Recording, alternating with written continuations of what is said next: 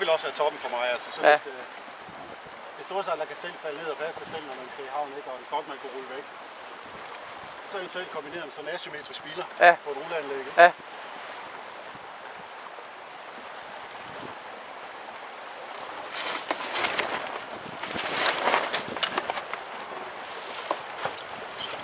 Det sker. Det er bytte.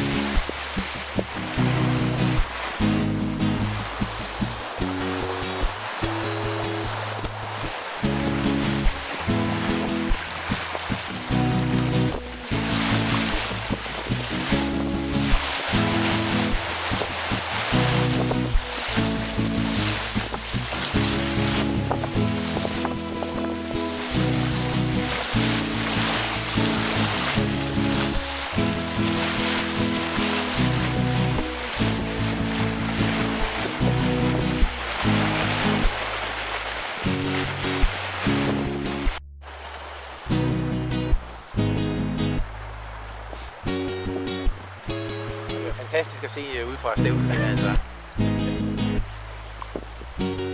Der er VCS. også, hvor du står, ikke? Ja.